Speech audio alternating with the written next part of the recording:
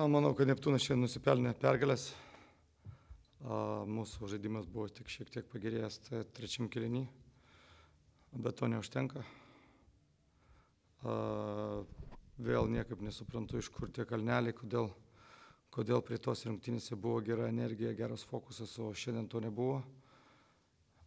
Nenoriu vėl perkelt ant kažkokio nusiraminimo ar kažkokio ten neįvertinimo.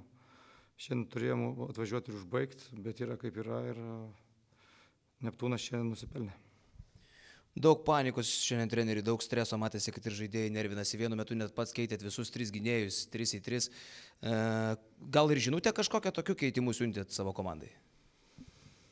Na, visų pirma, nuo pat, pirmos, pirmo, nuo pat pirmo kelnio, na, kažkiek atsiliekant ar neinant rungtynių planui, tai yra dar trys keliniai, po to du keliniai lieka, galų gale buvom sugrįžę jau du taškai priekiai, bet trys tritaškai, du iš jų greitam polime, tai vėl, kaip sakant, tas viltis, taip, yra ta panika, daug klaidų, nėra, nėra užtikrintumo.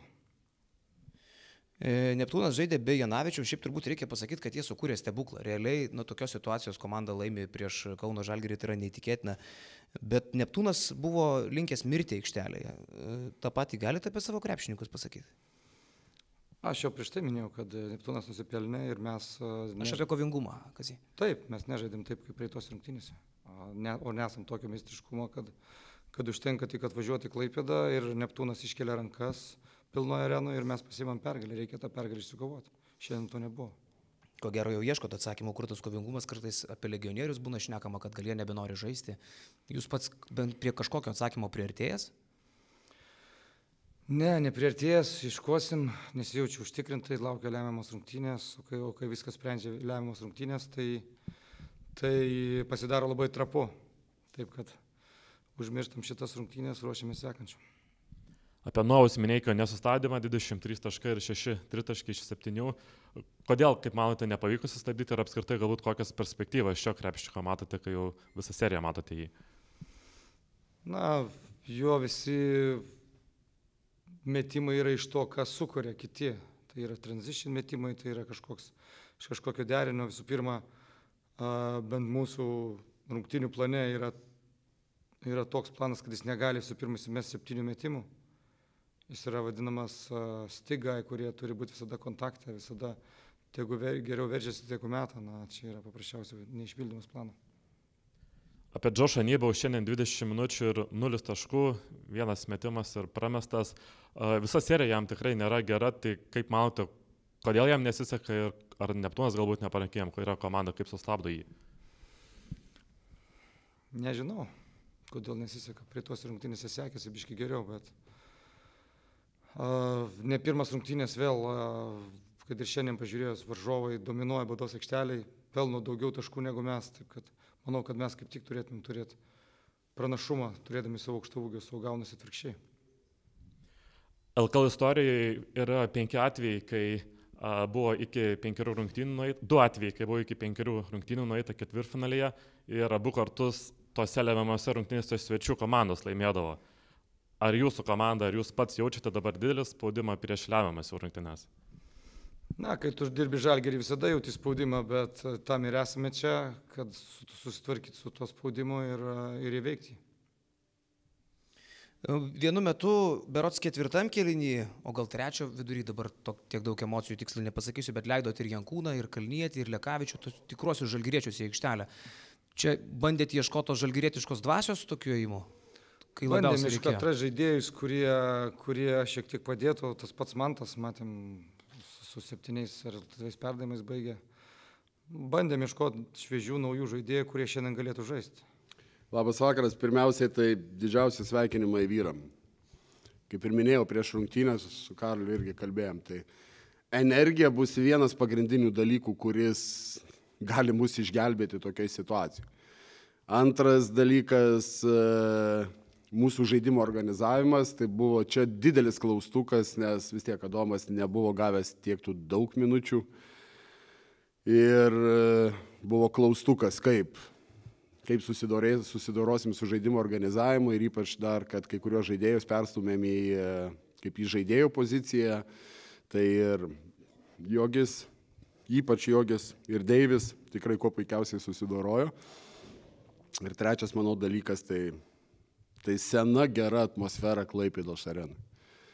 Ir galiu pasikartoti dar kartą, yra, tai yra be galo svarbu mums visiems, o ypač žaidėjams. Tu tuščioje arenoje, tu tos energijos kartais kaip treneris toks, nu, esi, nu, to, rankos nusvyra reikalautos energijos. Čia sirgaliai tą energiją iš tribūnų jie perdavė žaidėjim ir tai yra, tai sportai yra labai svarbu, labai džiaugiuosi ir vis tiek šitą pergalį, tai, tai yra tiem visiems žmonėm, kurie mums tą energiją davė. Tai tikrai ačiū labai jiems ir manau, kad Klaipėda nusipelniusi, kad kiekvienose rungtynėse būtų tokia atmosfera. Tai labai to norėčiau. Kai jūs treneriai prieš rungtynę sakėt, kad šiandien kovosit dėl pergalės, aš tikrai galvojau, kad jūs juokaujat, nes be Žygimanto Jonavičiaus tai atrodė tiesiog neįmanoma, bet aš tik paklausiu, buvo kokiu nors ženklų, kad žaidėjai prieš rungtynės buvo ženklų, kad žaidėjai šiandien bus tokie, tokie užsivedę, tokie mirti aikštelėje galintys, nes tiek aš, tiek Mindaugas Kusminskas padarėm išvadą, kad tokio Neptūno šį sezoną, tokio užsidegusio dar nebuvo apskritai. E, galiu pasakyti taip, kad rytinės treniruotės metu su asistentais kalbėjom ir asistentai sako, geriausias uh, treniruotės nu, metimų blokas, kaip treniruotę blokais turim, tai metimų blokas buvo geriausias šitam sezonui, jie geriausiai pataikė visus metimus. Nes buvo net pagal laiką per trumpai netgi gavosi. Tai čia buvo toksai pirmas ženklas, kad, nu, okei, okay, reiškia, su psichologija tvarkoj. Bet vėl pasikartosiu, čia, čia mes galim džiaugtis ir taip toliau. Taip, tai yra žalgeris, tai yra pergalė prie žalgerį. Tai tikrai mes, matom, manau, ir žaidėjai, ir sirgaliai, ir klubas mes turim teisę džiaugtis, bet iš kitos pusės tai serija yra 2-2. Ir mes turim padaryti maksimaliai iš savo pusės, ką galim, sužaisti savo, nu, jogis Nojus šiandien sužaidė tikrai fantastinės rungtynės. Tai lyginai taip pat Kaune, mums reikia dviejų ar trijų žaidėjų faktorių, kurie sužaistų geriausią sezono rungtynės, o gal karjeros net rungtynės. Ir tada vėl viskas priklausys nuo žalgerio. Tai, yra, tai viskas priklausys, sakau, nuo žalgerio. Tai yra, nu, nepamirškim, tai yra komanda su penkiais Lietuvos rinktinės žaidėjais ir dar keturiais kitų nacionalinių rinktinių - Prancūzijos, Zelandijos, Naujosios Zelandijos, Latvijos ir Vokietijos žaidėjais. Tai yra labai aukšto lygio žaidėjai. Tai nu, tikrai yra labai sunku prieš, prieš juos žaisti ir jie, nu, jie tų rungtynių yra ant sulošę tokių. Tai tai jau dabar turbūt, kad yra istorinė serija, aš nemanau, kad Lietuvos krepšinio lygai buvo netikėtesnis rezultatas, nei kad Žalgeris ketvirtfinalį su kažkuo žaistų lygiai, e, taip ilgai, 2-2. E, ar rungtinių pabaigoje nebuvo pačiam baisu, kad jūsų auklėtiniai galiausiai gali ir jėgų pritrūkti, ir įsigasti, kad laimės šitas rungtynės?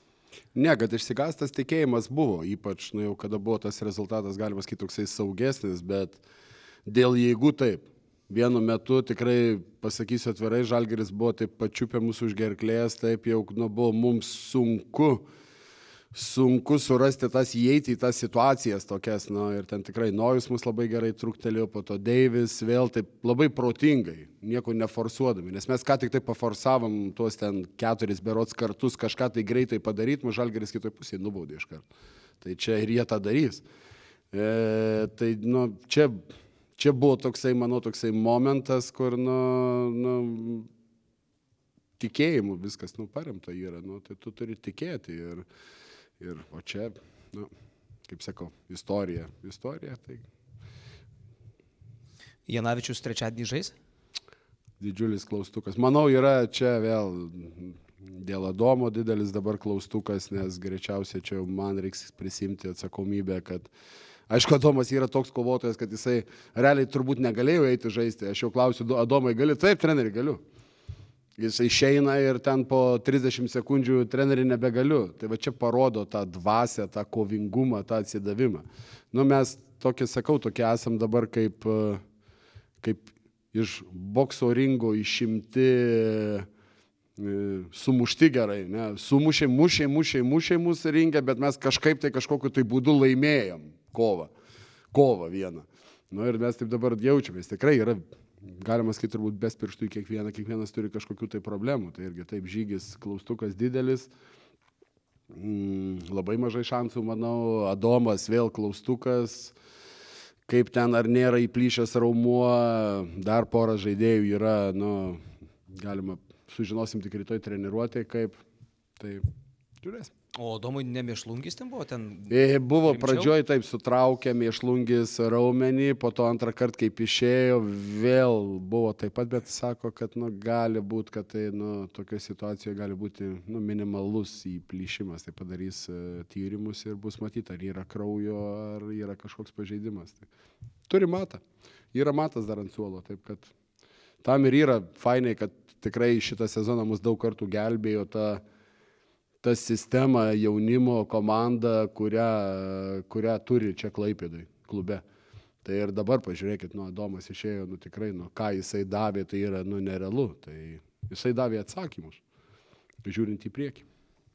Dar jeigu Leimanis kažką duotų, kuris šį sezoną prametė 33 taškų, pataikė tik tai 4, turbūt būtų iš vis fantastika. Labai tikimės, labai tikimės, kad gal tos sekančios rungtynės bus, kur bus, tarkim, 10-10 tritaškių. Ir jis bus tas faktorius. Bet šiaip yra atsakymas, žaidėjas prieš tai taip gerai karjeroje metė, dabar uh, 4-34, čia kosminis pataikymas. E, taip, bet čia manau, vėl, čia, skau, kaip apie žaidėjus aš sezono metu nelinkęs niekada kalbėti, ypač kas liečia kritiką, nemanau, kad tai yra teisinga. Ypač kai yra žaidėjai gerai treniruojasi ir maksimaliai dirba atsidavę. Čia jokių priekaištų. Super žmogus, super profesionalas. Tikrai. Bet mes turim irgi suprasti, mūsų Lietuvos lyga krepšinio jinai yra labai specifinė. Čia mum mes, mes kas sukame iš čia, mums čia viskas atrodo labai normalu. Patikėkit, labai specifinė, labai fiziška, tokia taktiška, galima sakyti, visokiausių gynybų nu ir mes visokiausių prisigalvom nesąmonių. Tai nėra lengva užsieniečiam atvažiuoti žaisti, nes kitur yra tikrai lengvesnis krepšinis. Mes tikrai daug akcentuojam gynybą, daug akcentuojam sistemų įvairių gynyboje, netgi, nu, tokių, kaip sakau, dalykų, tokių, kad kartais gaunasi, kad ir prie žalgerį žaidžiant, gaunasi, kad trys skirtingi žaidėjai aikšteliai perimetro ir tu žaidi tris skirtingas pick and roll gynybas prieš juos. Žaidėjim tai yra nėra labai lengva, aš galiu pasakyti atvirai, mes tik tai likus gal nu, trim savaitėm iki playoffų mes pradėjom tą jausti visi kaip komanda tą tokią, aha, mes tą darom, mes bam rungtinių eigoj pakeičiam vėl viską tokia atsirado tas toksai savitarpio su, e, supratimas. Ir čia nėra atsitiktinumas, kad mes pabaigoje jau sezono jau žaidėm, nu gerai, užtruko tas procesas, tai užsieniečiam atvažiavus yra labai nelengva. Ir mato tikrai, nu, e, kitose irgi serijose mato trenerių irgi tokie užsieniečiam tokie užmetami truputį yra, kad, na, tikėjosi, gal vėl, gal nuvylė. Patikėkit, nėra lengva. Užsieniečiai atvažiavę ir žalgerio pavyzdys irgi užsieniečiai pirmą sezoną, pažiūrėkit, kiek problemų turėdavo, ne tik, ne tik Eurolygoje, bet ir LKL. E. Po to tik tai, kai prisadaptavosi, tada būdavo gerai. Turbūt ne vienas transliacijos žiūrovas galėjo net paklausti, kas tas Nojus Mineikis, nes tai buvo žaidėjas, kuris rinko po nepilnai 6 taškus reguliariam, ketvirtfinalį su Žalgiriu 12, 12, dabar 23. Ką savyje naujo atrado Nojus Mineikis dabar playoffuose? Manau, nieko. Kaip Nu, jisai jisai- pabudino aš šitą kartu- aš žvėrį? ga- Aš galiu kartuoti, tai yra ateities žaidėjas. Ir manau, kad, nu, duokiem dievės sveikatos, nei nebūtų traumų, aš manau, kad jis eis labai toli. Nes jisai turi gerą IQ, turi savybės, kurias, su kuriomis gali eiti aukštai. Tai net iki rinktinės, aš tai manau, nu, ir nu, jo vietoje aš tai savo kelčiau tokius tikslus. Kad eiti aukštyn, aukštyn ir nu, jisai tikrai turi, turi, turi kai kurių elitinių savybių, ką yra dabar krepšinėje labai svarbu. Tai tikrai šiandien jisai labai padėjo, ypač sunkiais momentais, tikrai ką pastatėm žaidimą ant jo, kažkokiose specialiuose situacijose ir vėl jisai viską sumetė. Matyt, baudą techninę, kas ėjo mesti. Čia daug parodo, žinokit, šitie dalykai, čia charakteris yra tinkamas. Ir Leimanį, ir nežaidžiantį Janavičių idealiai šiandien kompensavo sezono rungtynės sužaidęs jo gėlą, 19 taškų, 9 perdavimai. Panašu, kad uh, jam kaip Antanas reikia, kuo sunkiau, tuo geriau. Kuo didesnės atsakomybės, kuo daugiau ant jo, tuo jis geriau jaučiasi. Tikrai neslėpsiu, buvo prieš rungtynės tokių, kaip sakau, ne tai kad abejonės, bet tokios, nu, nuklaustukas. Kaip adaptuosi su ta rolė, nes nu, nebuvom tokia situacija, pas mus labai aišku buvo, tarkim, tose pirmose dviejose rungtynėse su Žalgeriu serijos žygis atnešė ten po 25 taškus. Jisai, nu, ta prasme, pats įmesdamas, tarkim, 11 taškų 10 asistų padarydamas, nu, ten 25 taškai gaunasi, jo indėlis į komandos bendrai, tai mums labai svarbus žaidėjas buvo. Ir nėra lengva taip, kaip BAM taip pakeisti. Tai čia, nu, Jogis čia fantastiškai, manau, sužaidė tikrai ir jo indėlis nu, buvo labai didžiulis. Daug kas mato taškus, bet, bet kiek mes turėjom šiandien, mes per pirmą pusę turėjom aštuonis perimtus kamuolius po, man atrodo, šešių deflectionų. Man atrodo, mes tris, trijose ketvirtadaliuose reguliariam sezone, kai esu Neptūne, mes per visas rungtynes tiek neturėjom. Tai čia parodo tą žaidėjų tą tokį nu, atsidavimą, energiją. Tai tikrai. Nu, tai dėl to man tai labai džiugu dėl to, kad jie, nu, jie įdėjo dušę, įdėjo viską, ką turėjo. Jie išsikrovė maksimaliai. Aš dabar atvirai pasakius grįšiu namo, tai man pirma mintis bus apie rytojaus treniruotę vakare. Kaip ten vėl. Ir tas, kai žinutė ateina į telefoną ir pamatai, kad tai komandos čatas yra. Tai ir, ir ten daktarų žinutė. Tai va, tokia labai labai jausmas nekoks būna. Dar tęsiant temą apie matą. Šiandien konkrečiai apie devynis rezultatyvius perdavimus. Kaip Jūs matote tą jo žaidėjo rolę, kaip jis ją atlieka ir kiek gali būti ateityje būtent šios pozicijos kažkiek žaidėjas, kadangi prieš porą sezonų Neptūnas jau tai bandė, tada buvo iš bėdos kaip ir šį kartą. Mhm. E, manau vis tiek krepšinis labai yra transformavęsis, ne, ir dabar čia daug kas kaip nu, kalbėdavo, nu, svarbiausias žaidėjas yra žaidėjas ir penktas numeris, ne, nebėra tokių dalykų dabar jau. Dabar yra žaidėjai, kurie žaidžia su kamoliu, kurie yra kūrėjai ir yra tie vadinami skoreriai, taškų rinkėjai, kurie. Ir po to jau eini pas didelius, kurie yra su, su savo labai aiškiom nu, tom rolėm, ką gali duoti. Tai jogi irgi mes nu, atėjomės Jisai nebuvo tas e, sprendėjas, kuris, nu, užsimtų kūrybą labai. Jisai buvo nu, išnaudojamas vis tiek kitaip. Jisai tikrai labai geras tas toksai žaidėjas prakirtimam, ten užmetimam visiems ir taip toliau. Bet mes jį pradėjom daryti tuo kūrėju. Aš manau, jam, nu, jam tikrai patiko tas ir pats procesas, taip, tai nėra lengvas tas procesas, tikrai daug, daug reikalaujantis kantrybės, bet nu, šiandien rungtynėse jisai fantastiškai tikrai fantastiškai, ypač kada buvo sunku, kada jie pradėjo keistis, turėjom tokį sunkų momentą, nu jisai ir paėmė ir sužaidė AISO situaciją ir jisai paėmė ir pasą padavė, nu tos pasus ten, kur reikia, ta prasme, nes nu tu yra taktiškai kartais tu nori ne to, kad tas žaidėjas su kamulio asistą padarytų, bet jisai būtų tas, kaip, kaip vadinam, pre-assist, tas kaip uh, ice hockey assist vadinasi, tas, nu, kad jo sprendimas uh, inicijuoja tai, kad pasibaigia viskas gerai. Tai pasisprendimai šiandien buvo tikrai fantastiški, aš manau, ten, nu, nežinau, reikėtų susiskaičiuoti trenerių tuos, tuos, tuos, tuos priesistus. Grįžtant jau kelis klausimus atgal apie Janavičius traumą, kokia ten konkrečiai yra bėda su juo? E, dvigalvio raumens patempimas. Ir apie LKL istoriją buvo tik porą kartų ketvirtfinalis iki penkių rungtynių ir abu kartus svečių komanda galiausiai laimėjo. Tai kaip Jūs manote, kaip Jums nesugadinti tos istorijos? Aš, aš pak... Nu, čia labai, labai, labai geras klausimas. Gal patart turit kaip nors, kaip nesugadinti? Na, aš manau, pirmiausiai. O, idėja. Idėja. Ne, aš, aš vėl grįšiu prie to, čia viskas, viskas priklauso nuo žalgių. Mes turime maksimaliai padaryti savo, savo, mes turime maksimaliai atsiduoti, padaryti savo darbą maksimaliai. Mes suprantam, na, į kokią, į kokią situaciją mes ir žalgerį įstumėm, ir patys save įsistumėm, mes įstumėm į situaciją, kuri nu, yra mums fantastiška. Tikrai mes neturim jokios presijos, mes tikrai nu, važiuosim ten kovoti, bet nu, ta, ko, ta kova mūsų turi būti tokia apsiriboti ne 40, jokių būdų negalvoti apie 40 minučių, bet apsiriboti vienas puolimas, viena gynyba. Vienas puolimas, viena gynyba. Bus labai sunku, mes tą ir suprantam, bus labai sunku, bus labai ilgos 40 minučių, bet mes, nu, turėdami gerą koncentraciją, gerą energiją ir tikėdami tuo, ką darėm, darom, mes, nu, aikštelėje žaidė 5 prieš 5. Tai. Oh, oh.